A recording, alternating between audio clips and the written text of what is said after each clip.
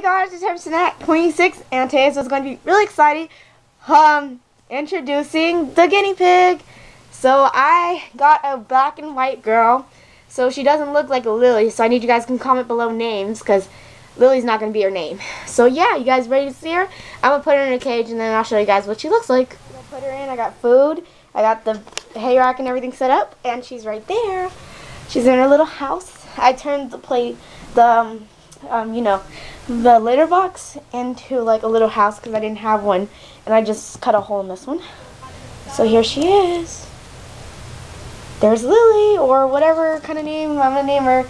I told her she's black and white, so she kind of doesn't look like a Lily, but, um, yeah, guys, comment below what names. And I know I can't really touch her right now because I know she's very, very, very scared. So it's going to be really hard for me not to touch her, but I'm going to make her a salad right now so I can put her in the cage and calm her down.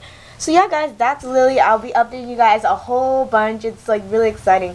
I keep saying Lily because I'm used to saying that, but comment down below names because I don't think she looks like a Lily. That's just personally me. So yeah, guys, hope you enjoyed this really exciting video, and I know she's really, really scared. She's freezed.